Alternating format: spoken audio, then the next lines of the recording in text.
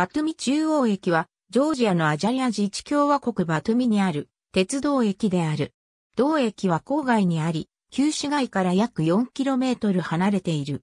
同駅が開業するまでは、さらに北方に約 2.6km 離れたバトミ郊外マヒンジャウリの鉄道駅が中心部からの最寄り駅であった。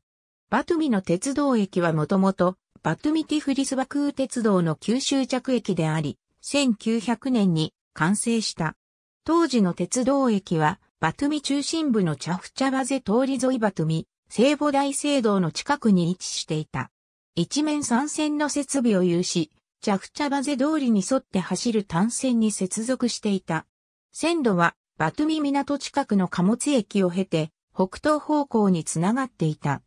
ソビエト連邦の崩壊後の1990年代、ジョージア鉄道は衰退の道をたどり、バトミの鉄道駅は1996年末に営業を終了した。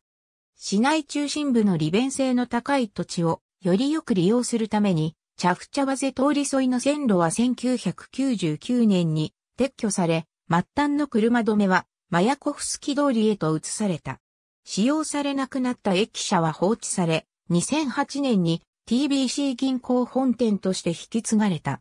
2000年代になると、バトゥミの鉄道は見直しが図られ、バトゥミ中心部から6キロ超離れたマヒンジャウリが終着駅となった。